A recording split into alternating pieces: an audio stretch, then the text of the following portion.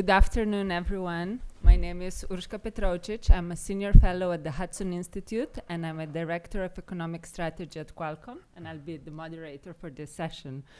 So I know it has been a very long day. I know a lot of interesting discussion, but I also know that everyone is now waiting for the cocktail reception, so I'll make sure that we will not run over time.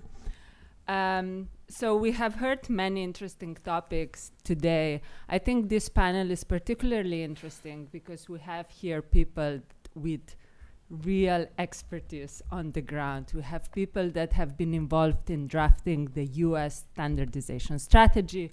We have people that go to standard development organization and do the actual work. So I'm sure we can really learn a lot.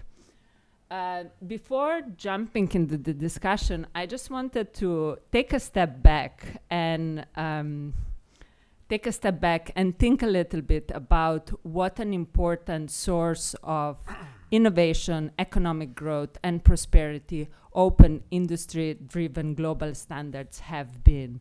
Um, we know I know that we all kind of take it for granted, but if you pause for a minute and think the, about the impact that the standards are having. It's really, truly impressive.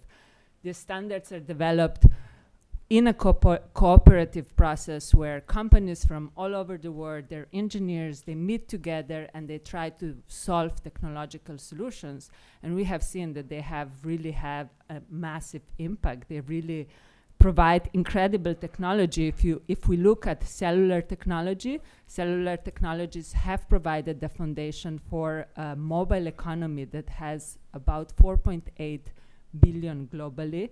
5G alone is expected to create or transform about 16 million jobs in the US alone, and cellular connectivity is today available to more people than electricity and running water, which is quite impressive. Now, what we have learned today is that technology, global technological standards are not immune for, from politics. And they have become part of this geopolitical discussion. And as the geopolitical tension increase, some have questions have questioned whether we need to rethink about this method of developing standards or whether you know whether we need to exclude certain areas or what should be done to on one hand preserve this system and the benefits it creates but also address the concerns that we have.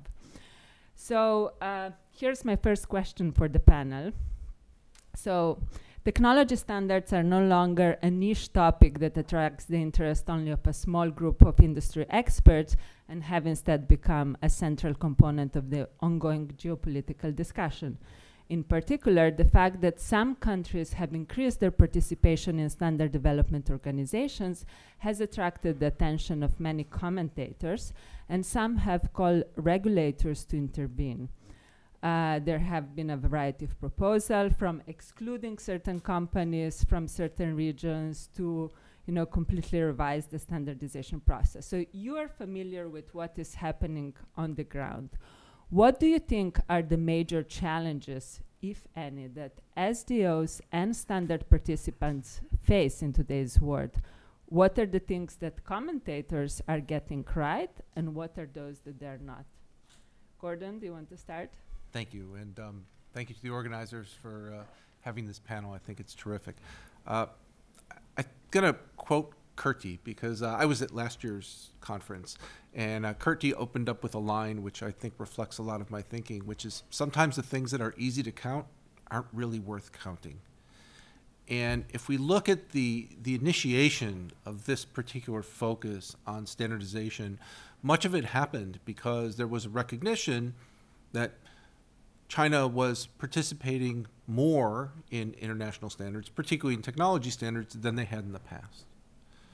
And one of the things that gets you to ask is how do you judge whether the standard system is healthy? Do you judge it by how many people show up to a meeting? Are they from one country, one company? Um, do we judge it by the rules of engagement? Do we judge it by how many competing standards efforts there are on exactly the same or similar topics? Or do we really, really need the benefit of looking down the road into the future and understanding whether the filter that is the standard system, which hopefully filters out the bad and mediocre technical solutions and allows the best ones to rise forward, are producing standards that get adopted, that facilitate products and services that can engage in our economic well being and better our societies. You only see this in the future. You don't see this in the current times. And this is one of the challenges for the entire standards community to talk about this reaction that we're seeing to what's gone on in standardization recently. And I think this is something that can benefit from research and a little bit of help. Sometimes we can look back at standards opportunities that have already come and see what's happened. I do a lot of lecturing at universities about standards, and one of the interesting things about going to universities, especially talking to STEM students, is that everybody wants to be an innovator, right? Being an engineer in a big company is kind of passe. I want to be an innovator. And many of them question, well, why do innovators need standards? Don't standards really tie me down? And it's great that I'm here with Harry because Harry represents a standard that was truly an innovation of its time. IEEE 802.11, right? What we all call Wi-Fi. So those of you who aren't old enough to remember, when you engaged with the internet, you needed a wire. Wi-Fi let us cut the cord. That in itself was an innovation. But on top of that, Wi-Fi has become a platform for a huge innovation space for new products and new services and new ways of living and working with others. And I think that is one of the reflections you have about how healthy standard systems move forward, help create innovations, allow for the market to uptake the best innovations, and have those innovations in and of themselves become the platforms for future innovations. Thank you. Harry? Uh, thank you.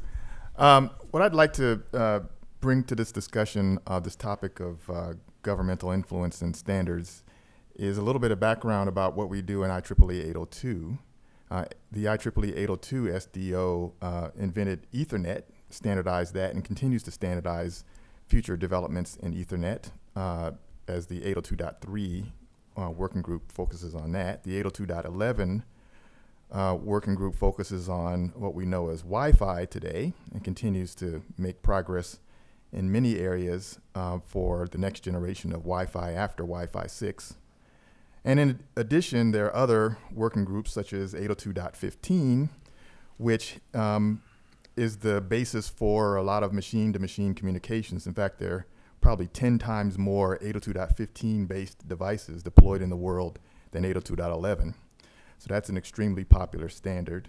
But we also have a working group called 802.18, and that's our regulatory um, technical advisory group.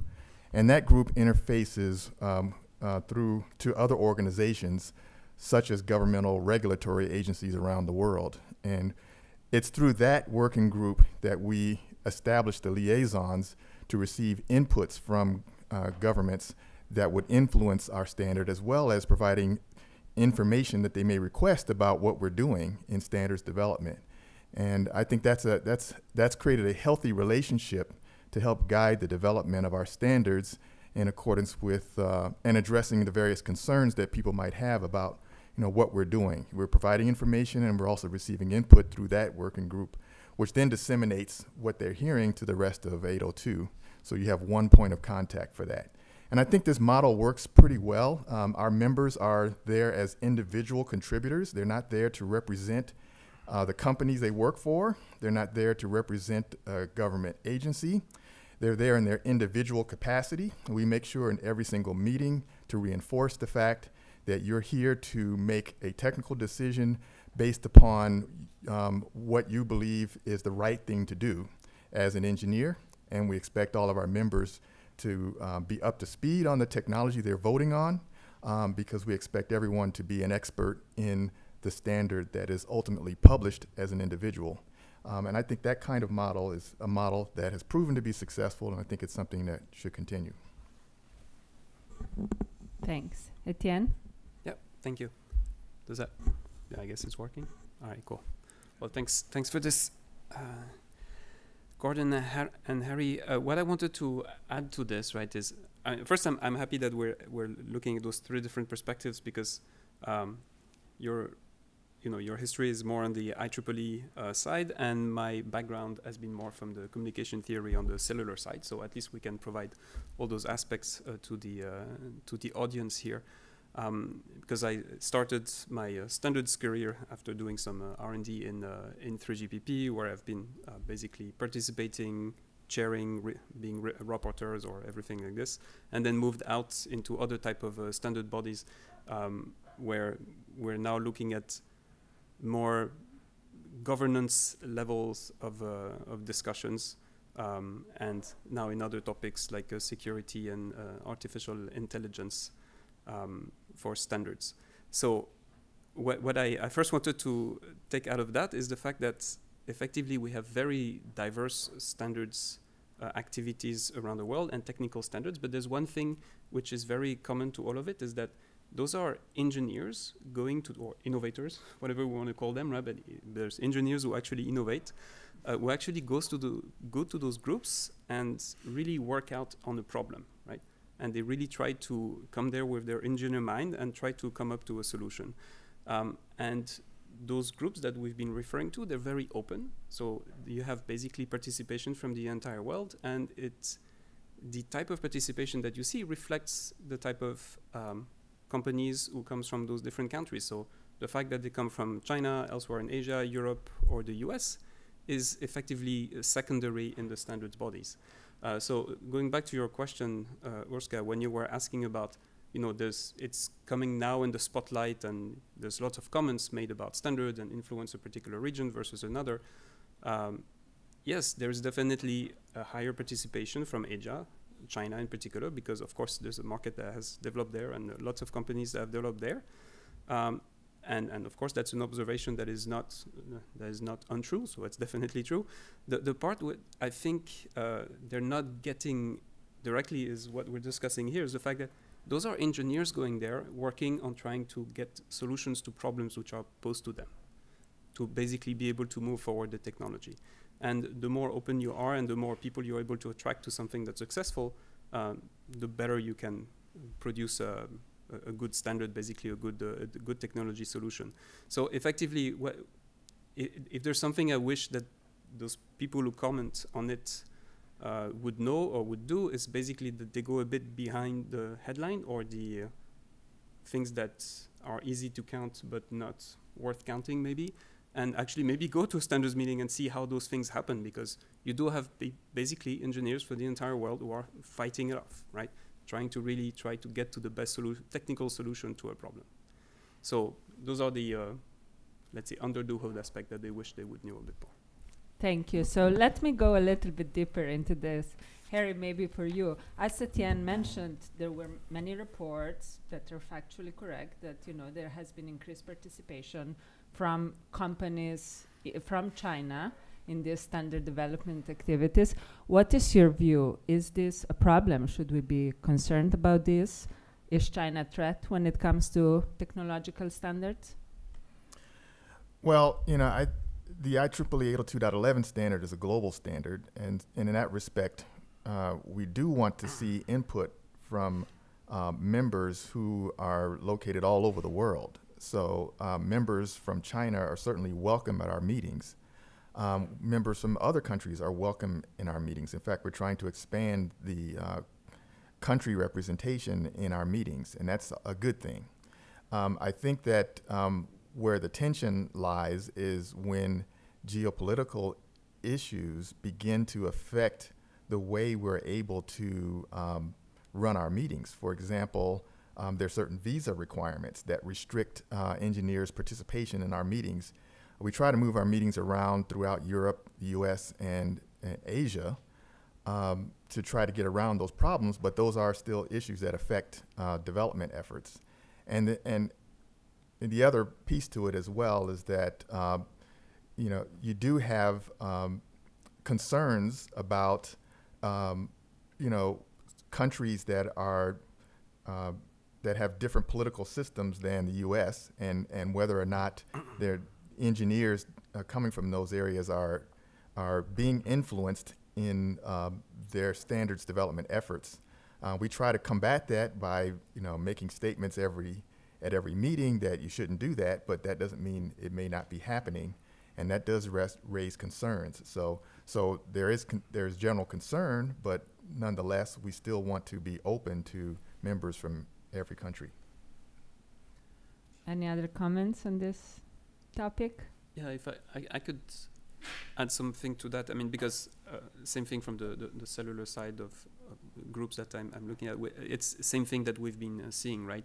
And indeed, there's there's one aspect that was witnessed is that, in particular, uh, for companies from from China, there is an ability for from the uh, government to actually rally the troops, right? Which are more along a particular country preference rather than a particular, let's say, technology preference, right?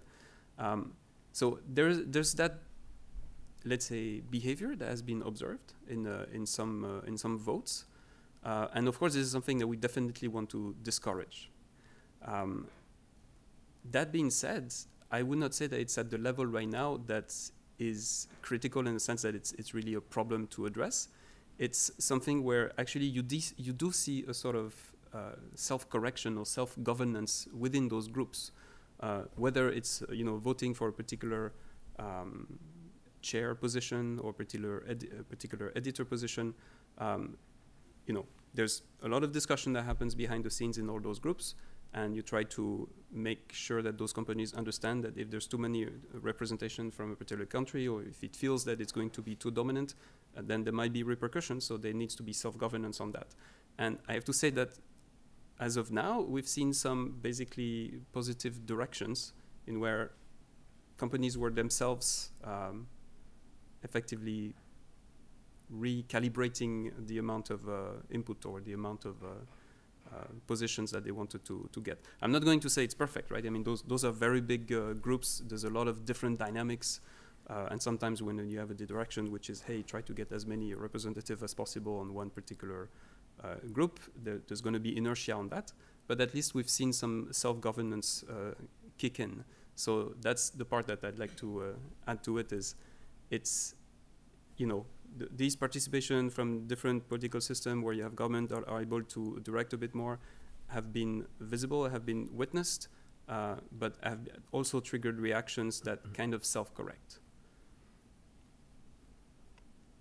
And just um, the self-correcting part of it, it's interesting for me. So uh, I've been involved um, with the revisions to the BIS entity list rule regarding standards uh, for quite a while, and I think this also has been a correction. Um, you know, we really saw this come out quickly in the last administration. Um, we listened to our stakeholders, and we saw a lot of negative effects, um, not about China's participation in standardization, but about U.S. participation in these global standards. And so it took us a couple tries, uh, but I think we've gotten to a good place in the latest uh, revision to the standard. Uh, now it talks about a broad category of standards related activities, which are exclusions to the entity list rule, that I think has really lowered the risk for U.S. companies and U.S. representatives to participate in standards. And if you look at the standardization strategy, the U.S. government's str- strategy for critical and emerging technologies, you'll see that one of the cores is making the U.S. an inviting place for global standards meetings. Um, and it really does double down on free and open standardization system that embraces materially interested stakeholders. Yeah. So if I understand correctly, it's like let's not exclude companies, either Chinese or US, but let's make sure that, well, let's try to encourage the discussion on here, but also let's make sure there are not abuses and that there is a rule-based system. Uh, Etienne, I want to go back to you. Mhm. Uh, we have heard in the, this morning several commentators have emphasized the importance of maintaining a global standardization system. Could you explain why is it important to maintain a global technolo- why is it important to maintain global technological standards rather than move to a bifurcated world? What would be lost if we move away from this global system? Yeah, so I okay, so on on this, I think the uh, the short answer would be that you know there's you you see the thing that you've lost un, you, you won't see the thing that you lost unless you actually lost it, right? Um, effectively, this this global technology standards uh, framework uh, you know provides uh, amazing economies of scale for any implementer or innovator who wants to get into this space. Uh, if you don't have that anymore and you need to go back to a, a world where basically you have a you know a different plug power plug per country, which uh, apparently still exists today, um, you uh, you will understand why it's better to have a single plug that works everywhere. It would be great to have a single plug that works everywhere or a single cell phone that works everywhere, right? The way we have it today, or single Wi-Fi equipment that uh, works pretty much everywhere.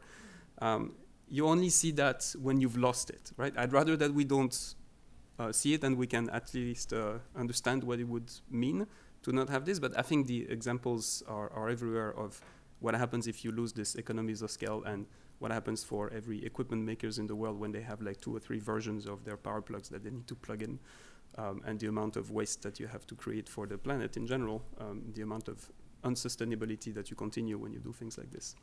So I think, yeah, the, I mean, that's to me the, uh, let's say, simplest uh, answer to, uh, to that point.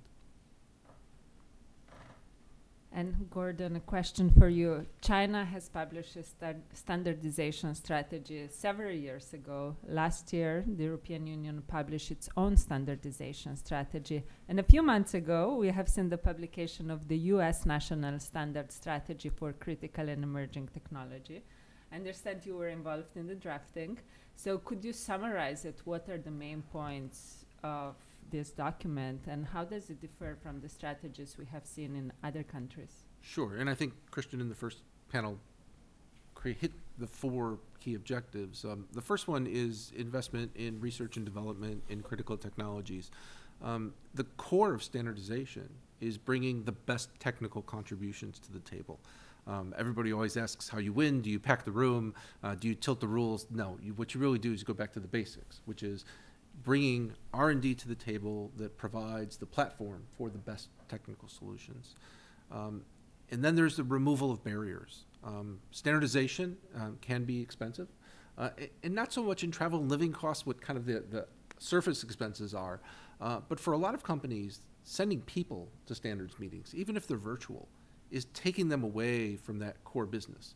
And so those are some of the things we really need to think about is how do we reduce those barriers for companies, large and small, also for academia. Uh, how do we reduce these barriers to participation and uh, bringing contributions and influence into the global standard system? And then we have to look at workforce. Uh, it's been mentioned a couple times. This is actually my uh, core core issue a lot of times.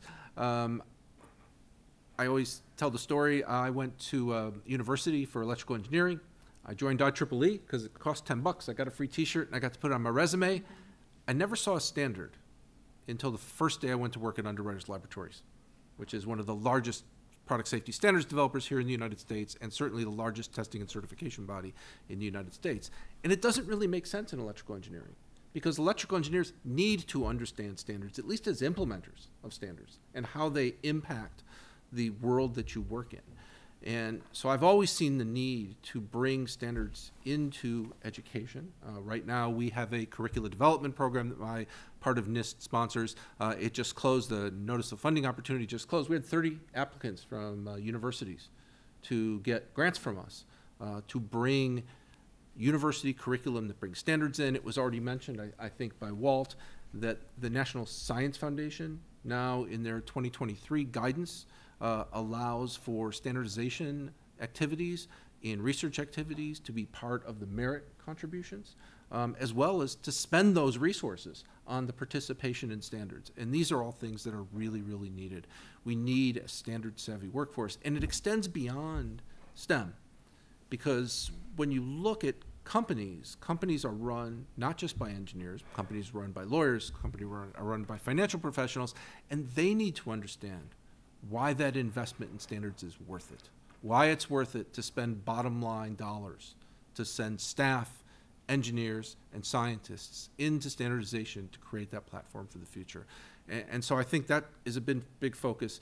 Uh, and inclusivity is a big focus. And again, I think this kind of cuts against what we see from some of the other standardization strategies you've mentioned, that the U.S. really believes that a open standardization process that's based on consensus rules is the best approach to standardization. Uh, and if we compare and contrast, right, so China in their 2035 standardization strategy said, we want China to be dominant in global standards. You don't really see that. You see us wanting to be competitive in global standards and competitive in global technologies. And in Europe, they've closed the horses around the European regional standardization bodies, right? And you know, particularly, I think it's going to affect ETSI. Uh, and where standardization requests flow from the European Commission into ETSI, uh, they will exclude uh, non-European organizations from participation in that standards development process. And I think we've heard throughout the day today some of the ramifications that are happening there. So I, I think unlike some of these other things, the U.S. strategy essentially references our historic approach to standards. As a matter of fact, we were very careful in naming it. So it's the U.S. government standard strategy for critical and emerging technology. And one of the first things we talk about is how this complements the American National Standards Institute's standard strategy, the private sector led approach to standards that have served this country really well, well, and quite frankly, have served most of society very well. Thank you. Um, Harry, so as Gordon just mentioned, a significant part of the US national standard strategy focuses on incentivizing further participation in standard standardization activities. So in a country like the US that is based a, on an industry-led process rather than a government-led process, what are the incentives that we need to encourage more companies to participate? Oh, well, I think that, um, you know, one, for example, one of the reasons that I participate in the meetings is because I, I do believe that um, uh, as an engineer, we should be a U.S. born engineer, that uh, we should be interested in U.S. competitiveness in technology um, as a basis. Um, but beyond that, I think that um, what we can do to incentivize more participation is for people to understand the impact that standards such as IEEE 802 have on our daily lives. For example, there's a lot of concern about privacy, the use of technology and its impact on privacy. Well, in uh, 802.11, we're working on a next generation standard to randomize MAC addresses so that um, we address the privacy concerns from, from tracking. However, there's also the tension because you know, law enforcement wants to track people from time to time you know, and so or or parents want to monitor what their kid, kids are doing online. So so there's that tension going on. So so, so the impact of this technology in society is only increasing. Um, so you can't just look at standards as just something that the nerds work on. It's something that impacts your daily life more and more, it, and it's becoming critical infrastructure to our lives. And for that reason, you know, we really do want to see more people get involved because it will impact you one way or the, or the other. You can't just ignore it. Get involved. Thanks. So can I just uh, Yeah, chime in? So we are very, very interested um, in listening to the stakeholders to standardization. Uh, the standardization strategy has been published, and NIST has been given the charge to lead the implementation. And one of the things out of the box that we're doing is really listening. So NIST has a history of engaging with stakeholders in our work. So not only are we going to be doing listening sessions around the country, um, we're also going to publish a request for information that's going to come out that'll help us get information about what the stakeholders to standardization see as the best things that we can be doing, not just at NIST and Department of Commerce, but across the whole government to bring more U.S. engagement and participation into standards development. And even before that, on standards.gov, which is the website for my organization, we have a little listening tab right now under the strategy tab. So if you have something to say to us and something to inform us about how we can be executing and implementing this strategy uh, in a way that you think will work, uh, we are happy to hear from you. Great. Yeah. Any suggestions on when the RFI will come out? I think it'll be weeks, not years. okay. uh, Etienne, did you want to add? Yeah, uh, no, um, yeah, just a small thing to add, and, and I, I, I've been, you know, trying to look for places where we can at least disagree a little bit, uh, but I, it's it's hard. But yes, I'll, I'll, I'll try to find some, um, or, or maybe to add some some more nuance. Uh, so first on, on the U.S. standardization strategy, it's hard to disagree because I mean the, the text that we saw was was really nice, um, the, in particular on the part of removing barriers to be able to participate. Um, anything that also would remove barriers for uh, anyone globally to participate would be great because you know that's the part what we were discussing that we want people for and the entire world to be able to participate and solve those uh, technology uh, problems. Um, so that's you know no no, no disagreement there. Um, the, the part where I wanted to uh, add a, a, bit of, of nuance on the, the way it's it's done right because uh, Gordon the way you were describing the uh, the way China has done their uh, what was it standards 2035 or the or Europe's um, circle the wagon and uh, and try to make sure it's it's only them who are going to deal with it or only uh, national delegations are going to be able to to decide. So the slight difference uh, I would say there is um, when you look at some of the the, the way the European standardization strategy um, tries to address things, it's to me, there's some aspects that make sense when you're talking about standards that have societal impact on their society, that they set the requirements. And that, to me, is fair because if you're in a particular society and you're setting up the requirements, I mean, you have your political system and you're going to set the requirements. Um, and so, from, from that, I would say that it's kind of under purview to actually set the requirements. The, the same way they're doing this EU AI Act uh, today, which, you know, hopefully will, well, hopefully, I guess, is going to pass by the end of the year. And then uh, create some technical standards to, to actually address those. Um, the part where I, I, would agree that they, I would have issues that they go um, down that path too much is when they actually get involved in the, the way those technical requirements are fulfilled or actually you, how you address them. Setting the requirements is fine, but basically saying that no, you're going to address it this way or this way, that's becomes more of a problem because for that I would like to have the entire community of engineers to actually try to solve it. But that would be the, the difference I would, uh, I would see. Okay, well, you know, maybe we can start some controversy. Cool. Bring it uh, on. uh, you know, differences um, in implementation based on geography has always been something that's been a part of the wireless standards. Um, there are different regulatory um, requirements, such as, for example, avoidance of radar in certain countries is more stringent than in others. Um, the spectrum allocation is different in different countries.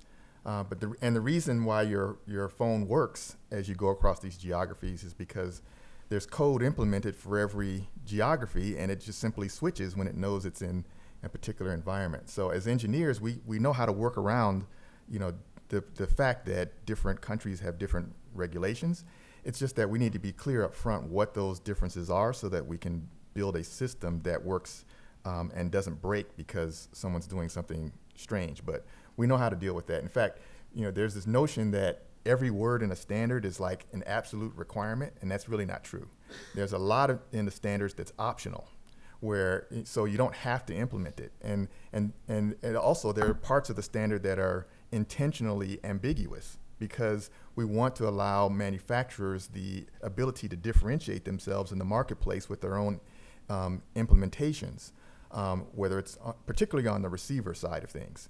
Um, so um, standards are, are, like I say, not necessarily you know um, cast in stone on, on every single aspect of how they work, um, and I think that's uh, allows for countries to weigh in on specific regulations that they want to see implemented. As long as we're clear on what they are, as engineers, we can make it work. Thanks. Gordon, I want to go back to you. You mentioned that the standardization strategy says that the US will seek to remove and prevent barriers to private sector participation in standard development.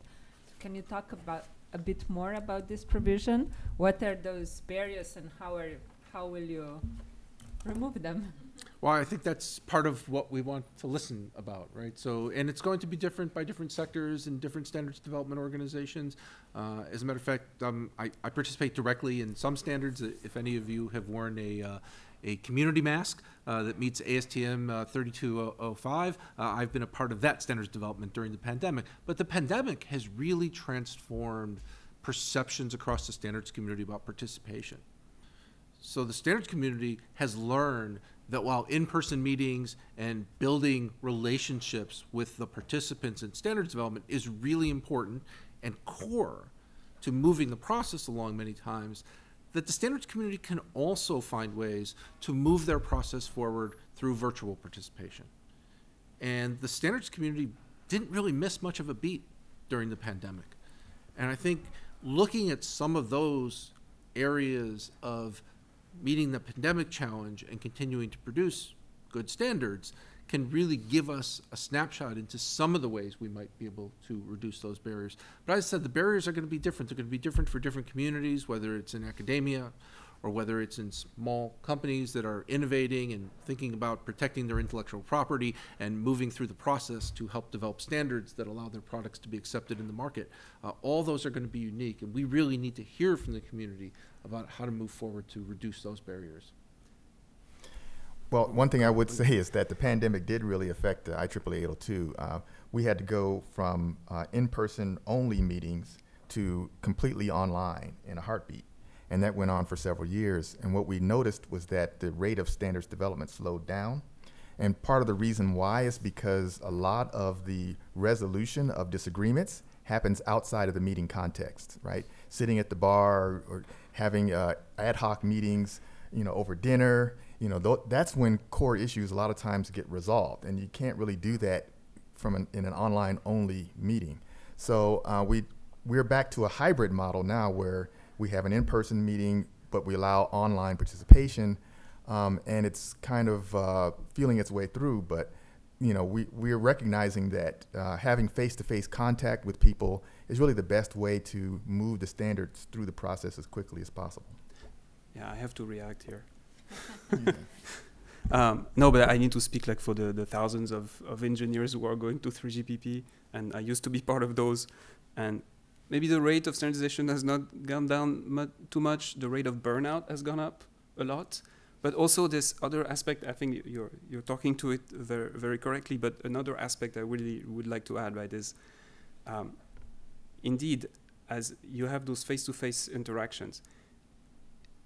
If you lose that by hiding yourself behind a screen, there's a very, very big thing that you're losing is that whenever you have those difficult conversations about this technology proposal, that other technology proposal, and you have to stand up in, fr in, front, in front of like two, three hundred people, peer engineers, and you're going to say something stupid, like if I'm doing something stupid now, and I have Harry and Gordon and Urska and whoever else, I'm going to look at me, and uh, I'm going to have like a really, really high bar before I say something. I'm going to say something only if I know it makes sense and I've thought about it and it's in my contribution and it's well documented.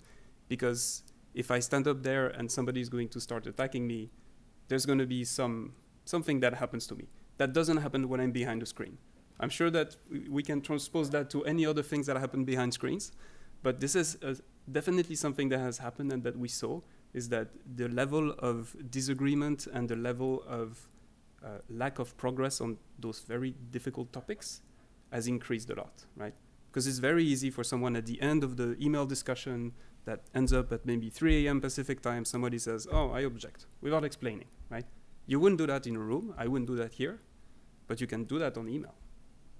And so yes, to the face-to-face -face for the difficult topics, definitely I agree that th there's something that's lost if you don't have that anymore. There's a bunch of others that you can put, you can keep virtual, uh, there's routine agreements that you can do, but there's a lot of the difficult conversation between engineers that need to happen like face to face.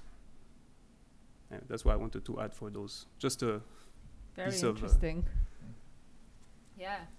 Uh, let me switch a little bit topic. Uh, this morning we talk a lot about technological leadership and Harry, you just mentioned it, you know, how it's important to have U.S. companies and how to incentivize them. So maybe a question from bo for both Harry and Etienne.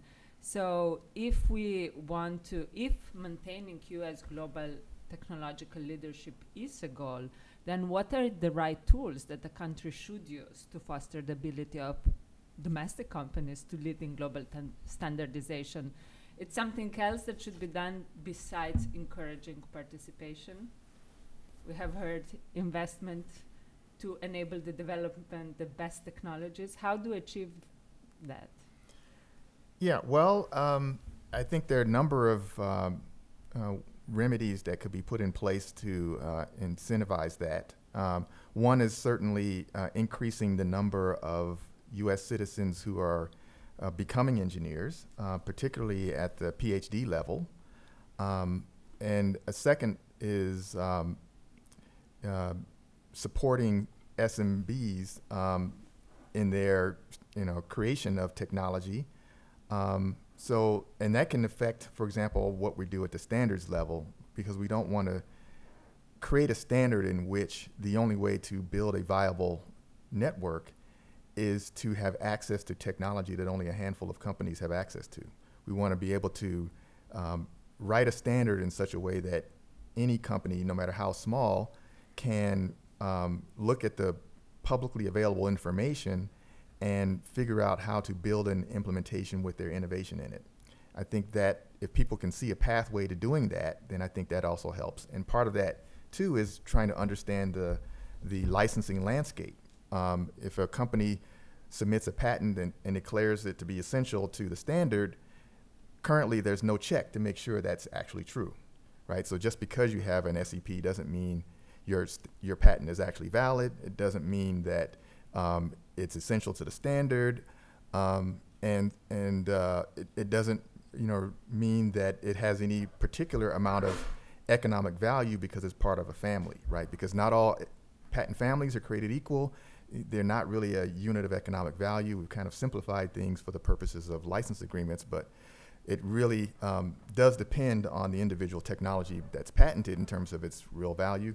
Uh, going through all of that would be a crazy amount of work because uh, we haven't we have tens of thousands of, of patents that are sitting there in, in these uh, that have been registered, um, and there is no formal process of of um, engineers who are non-biased who are going through it to validate it. Um, but if there were something like that in place, then I think it would it would uh, create a more uh, predictable landscape when it comes to figuring out can I bring a, a product to market that's going to be competitive at a price point that um, the market will receive?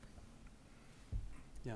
Thanks. Etienne, same question to you. How do we so promote U.S. technological leadership? Oh, ma- oh, yeah, to maintain U.S. technology leadership. Um, I think, I mean, on, on that, I'll, I'll, I'll, try to not go back to the previous panel. We had some good experts talking about that.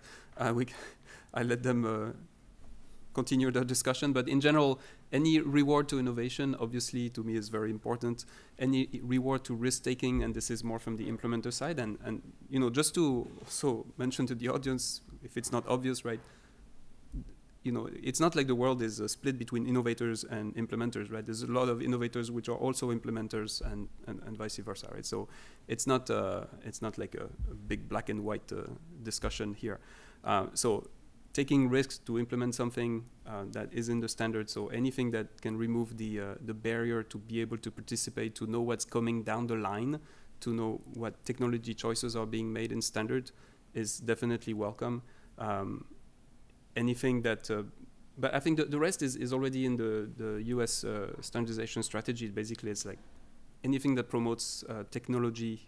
Uh, knowledge, technology works workforce. I, I would not say that those that there needs to be like standards courses in uh, in particular programs. You, you can you know know know what's uh, happening.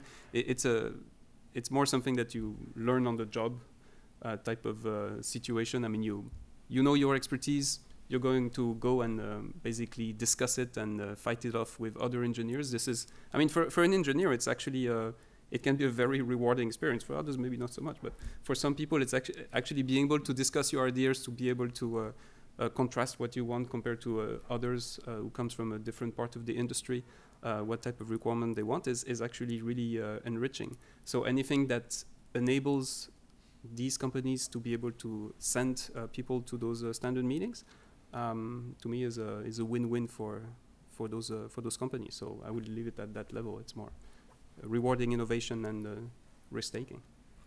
Well, the other thing I would add too is that right now it's incredibly difficult for an engineer who's new to standards to come up to speed on these wireless standards, right? The 802.11 standard is several thousand pages long.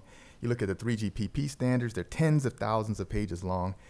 It, it, it really creates a barrier to entry for new people to have to go through those documents and figure out how they work. So, for example, the 802.11 working group has authorized me to rewrite one of the annexes to 802.11 to make it an introductory section for new readers so that we can onboard engineers faster to get involved in the in the standards process and feel comfortable participating in the discussions. Yeah, Gordon, U.S. technological leadership is a buzzword in in Washington D.C. Like all policymakers care about this, want to foster it, and it's certainly important, particularly in some key technologies. But at the same time, as we have learned today, it's also important to maintain a free and fair market competition within the standardization process where the best technologies are selected to become part of the standard. So how to how do we make sure that this geopolitical discussion and this desire to maintain um, technological leadership doesn't take us away from a merit-based standardization process? Thanks. I, I think some of the core here is a real focus on research and development and investment in research and development and not investing in activities that don't approach standards from a merit-based perspective, right? So you, what the very first thing in the U.S. standard strategy is this concept of adding investment into these critical and critical and emerging technology space in order to have that technology, in order to develop contributions that can be successful in standards based on their merit. Um, so we think that, that that really has the leading role for us. Um, and also just to keep communicating across the United States and around the world about the importance of consensus-based standards development, which is open to materially interested parties. Um, you know, if you look historically, there are a couple of areas that focus in standardization. So here in the United States, we have the National Technology Transfer and Advancement Act. It's a really long act, has a lot to do with, with IP, and has two paragraphs about standards, and describes a set of principles for standardization that talk directly to balanced consensus-based standardization that's open and has due process. If you look at the WTO Technical Barrier to Trade Committee decision on standards, it really reiterates the very same principles. So globally, we all hold these principles. China acceded to the WTO, agreed to those principles. Europe has agreed to those principles. The United States has agreed to these principles. And so I think these are the principles that we need to communicate over and over again are the core aspects of standardization. Thanks. Any other comments? Yeah, I mean the principles uh, uh, agree. I would add, uh, maybe that's covered in, in, under it, right? But I would emphasize then the uh, the aspects of governance within standard bodies. I mean, what, what you call the consensus-based uh, model of a rule of operation. Um, you know, what, what I've seen um, in, in, the last few years, because I, have been in a, in a group, um, in a trade association called GSMA, where they organize Mobile World Congress, so people usually know them. Uh, but they're a trade association of operators, and they used to be like completely operator uh, driven and centric, and you know, any vote or decision would be, yes, only operators can vote. And so at some point they realized, well, they were pushed to realize, but never mind. Uh, they realized that uh, that's not going to work anymore if they're going to continue to do technical standards. And so eventually, you know, they created a, a, governance model, and I'm now chairing their group that uh, basically oversees all their technical uh, bodies. And what we're spending a lot of time on is really like the type of governance that you need to put in place to make sure that you have the operators that have their viewpoints, but then the vendors that also have their viewpoint, and that it's at least fair. And what you see is that actually, when you engage with with them, um, you know, people are actually willing to you know, be at the table and actually put down rules which are going to be at least, you know, pretty fair for uh, for everyone, right? I mean, knowing that yes, in the end it's still a trade association, the direction is going to come from one side, but at least the technical realization, um, the vendors are going to be able to uh, basically have their have their voices heard. Uh, and if not heard, then you can vote. And if you vote, then you have the same uh, the same weight. So th that's why I would emphasize really this aspect of governance that needs to be really understood by uh, standards or people going to standards. That there's actually a process, and you know, just because that um, other uh, company is not agreeing doesn't mean there's no uh, other way. You have uh, recourses, or you can try to convince other people. Um, so basically, you know, it's yeah, I would really emphasize this governance topics and the fact that you know as you engage into it you will find that the people on the other side of the table they're you know usually pretty i'm not going to say always happy to engage but they're happy to listen and to potentially engage and uh, get to better governance So I think looking sometimes outside of this world, right? It's always interesting to me because I, I work across the plethora of standardization. Um, the SEP issues are a very, very narrow slice of standards. So if we move away from telecommunications and Wi-Fi and think about standards for baby cribs, would you want just baby crib manufacturers to write the standard for baby cribs? Should we have pediatricians? Should we have regulators? Should we have people who are ex- experts about mechanical injuries and mechanical hazards at the same table? Maybe even a couple of parents whose children have been hurt with baby cribs, sitting at the table to draw that piece of elastic to the right compromise solution that sets forth a standard that's reasonable and provides for safe baby cribs, right? That concept is exactly what you're talking Mhm. about.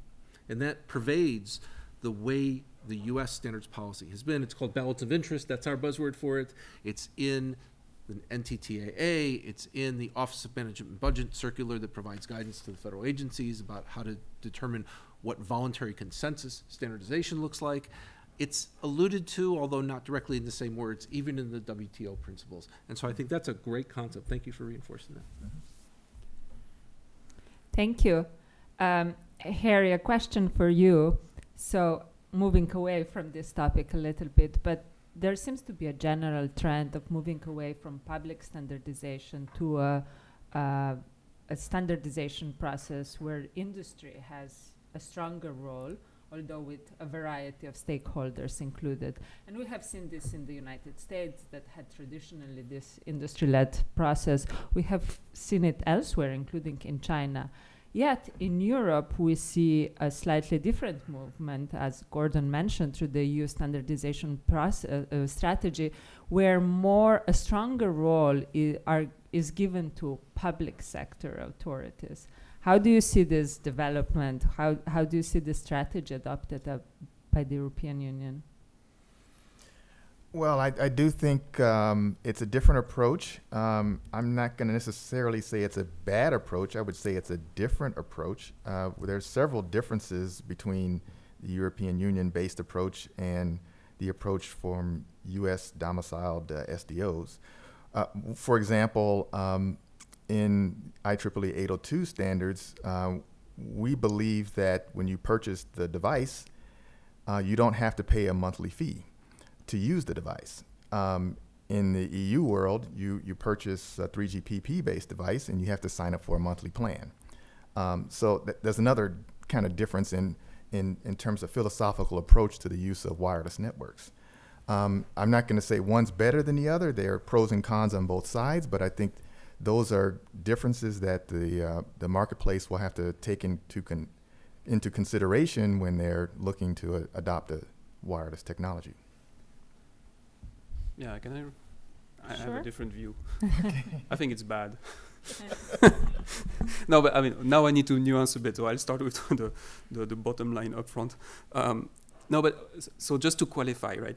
Because I think what you're referring to is like in the EU model, like if you look at uh, a, a European standard organization like CEN or CENELEC compared to ETSI, right? Where effectively you cannot participate unless you're part of a national delegation um, and you have to agree as part of the national delegation to um, have a particular country position, and then only the delegates will go to the actual meeting to either vote, argue, or do whatever, right?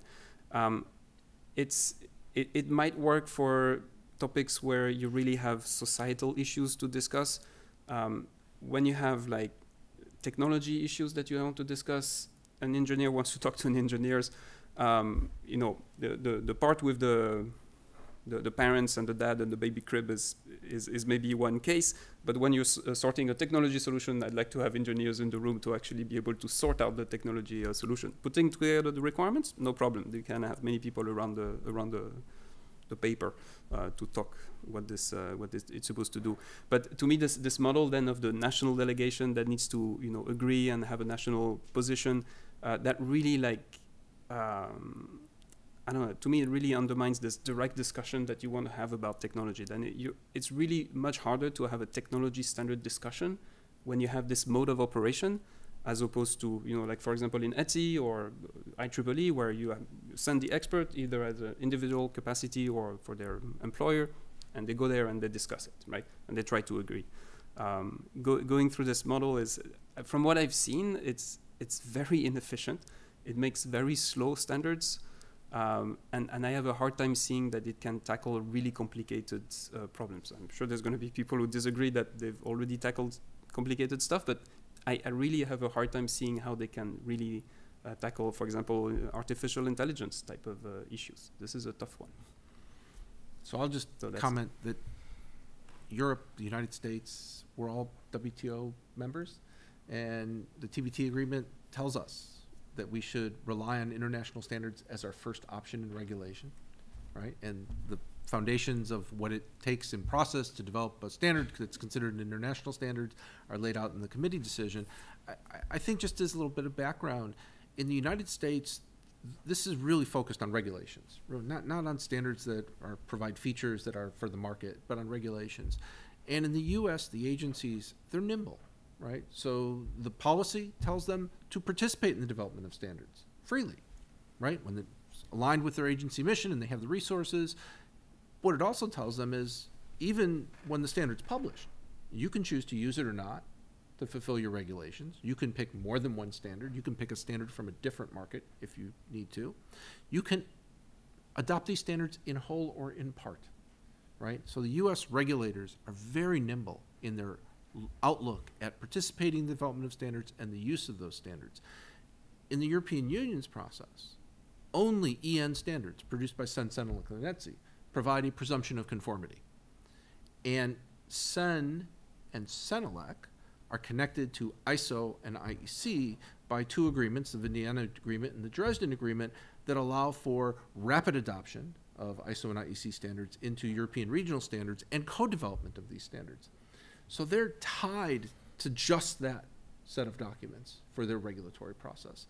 And in the United States, you see references in standards incorporated by reference for hundreds of different standards developers. And if anybody's ever interested at standards.gov, you can come and you can look at a website that provides you with data about standards incorporated by reference and see the variety of standardization models that U.S. government agencies use to fulfill their regulatory obligations. Yeah, I, I just fundamentally believe that uh, engineers shouldn't be uh, developing technology without guidance and input from the broader society who's impacted by that technology. So even though in the U.S. we have this industry-led uh, standards development effort, we do have mechanisms for government agencies to provide input from society, and I think that's a good thing. Uh, from the European perspective, um, certainly within their model, they can certainly um, appoint uh, scientists, engineers, professors, et cetera, who are experts in the field to help guide them through the development process. So you don't just have um, administrators, you know, calling calling the shots on the details. So I think within both models, it can work um, if we if we really try to merge the two concepts together. Thank you. I do want to leave some time for questions from the public, but maybe just the last question for Gordon. Cooperation with like minded countries is often mentioned as an essential component for maintaining this global standardization ecosystem. What do you think are currently the major challenges, if any, when engaging in such cooperation? In light of the ongoing geopolitical tensions, what do you think should be the main goal or goals when engaging in these discussions with the EU, with the Quad? I, I think the focus of engagements really has to be in several areas. One is really just sharing the concept and our belief in an open and consensus standards development process, right? Just reiterating that kind of same structure around how standards should be developed, particularly standards that are focused on regulation. Um, and also sharing information and connecting in work that happens before the standards, the pre-standardization research right? Because again, that, that is the fertile ground to bring the best ideas forward into the standardization system.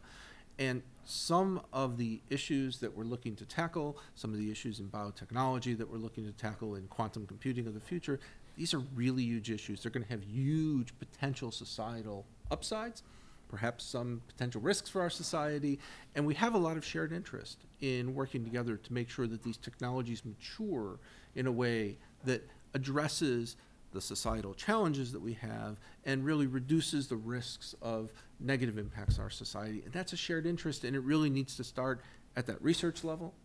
Uh, we also need to share information about what's happening in the current standardization system. I, I think one of the challenges governments face around the world is that standard system, although everybody thinks it's slow, there's a rapidly evolving standard system. There is a tremendous number of standards development organizations. There's a tremendous number of new work items, revision items. There's a tremendous amount of understanding of what's important and what we should be cognizant of. And the other thing that we are learning and should learn how to do more and more is not just work together as governments, but work together with our stakeholders because in most of these engagements, the stakeholders bring a lot of the technical expertise into the standards that are needed to make excellent standards. Any other comments? No. Stephen, do we have time for questions from the public? Any questions? I didn't see any question. It's late. Well, maybe just one last question for everyone. But it, my takeaway from the discussion we had today is that, yes, certainly there are some issues, some abuses perhaps, uh, but overall the standardization system is working quite well. Uh, the self-regulation has worked in a way, and if, if what if that's the case, what would be your recommendations for poli- policymakers that focus on this field?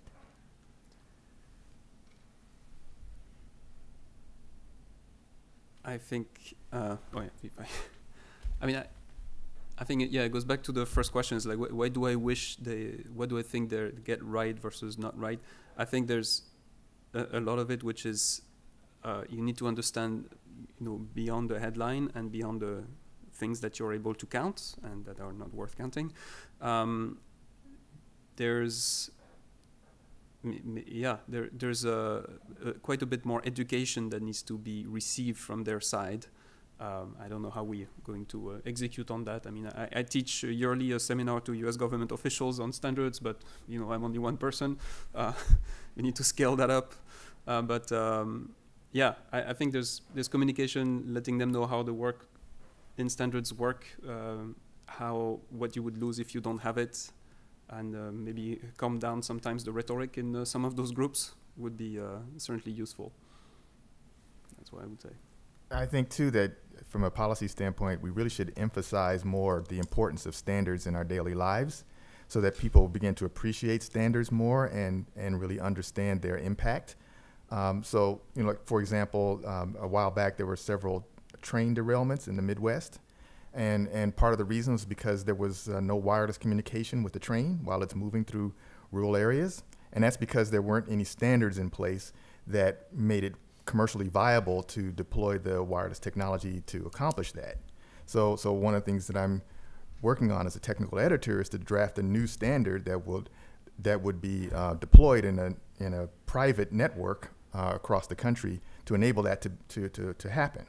So now you're talking about saving lives, right? You're talking about you know preventing accidents from taking place. So standards have a real impact in people's lives, and I think we need to do a better job of communicating that to the broader society and generating more interest in what we're doing and hopefully more involvement.